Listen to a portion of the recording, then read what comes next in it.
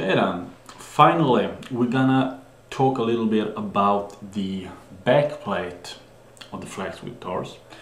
As you've seen, the Flaxwood guitar is a hollow body type construction which have a resonance backplate that allows the guitar to breathe and gives it part of that really airy, warm tone that we're also familiar with. So to remove, to access the electronics of the guitar, like in this case with the piezo and everything, we need to remove the backplate. And this is again where your uh, wrench comes in handy. It's the same size wrench, the same wrench as you used for uh, accessing the truss rod. So there are five screws back here, loosen them one by one, like so. One here, put that to the side two, three, four, and five. Now, let me show you something here. There are two various lengths of screws for the Flaxwood guitars. One shorter, one longer. The shorter ones there are three of the shorter ones. Those goes on the top nut, the top locking here, top lock, and then the other two shorter ones goes on the top side of the guitar. The side that goes up towards your head, so to say. And the longer ones are supposed to go on these two holes down here, down towards the floor, down towards your gut. So make sure that you do place them in the correct order to have the most you know secure lock of the back plate so everything just fits nicely and you don't over tighten something and break something. So then you take the same wrench that we used before and you see all these small holes here that allows the guitar to breathe. Those are also the ones you access and hook with this one.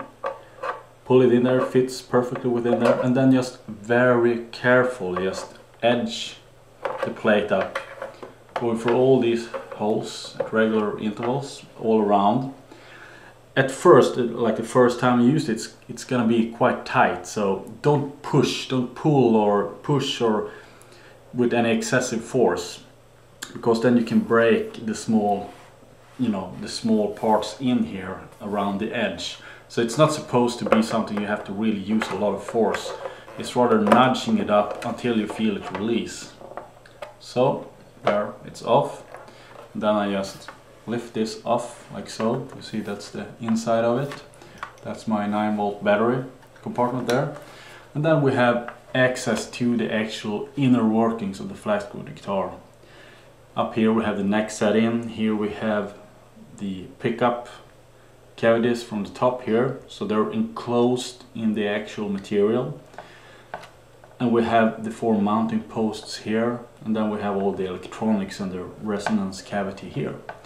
So just be really careful when you access the back plate taking care to not to break. So there's small small sort of tongues here that uh, stick around the edge of the back plate like so and holds it in place. So you don't want to twist and turn too much because then you might break these off and then you will have a not as good a fit of the back plate.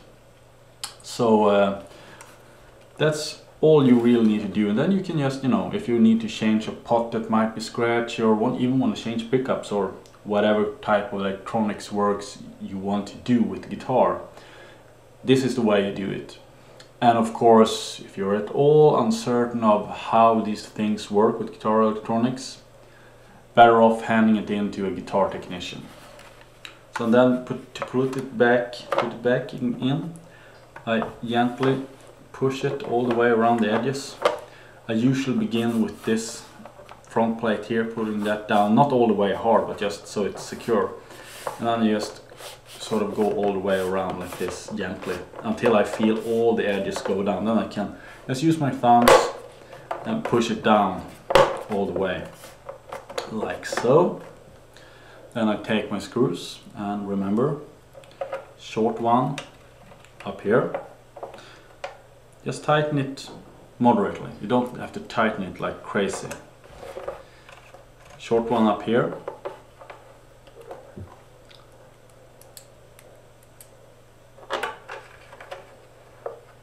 Short one up there. And then the long ones.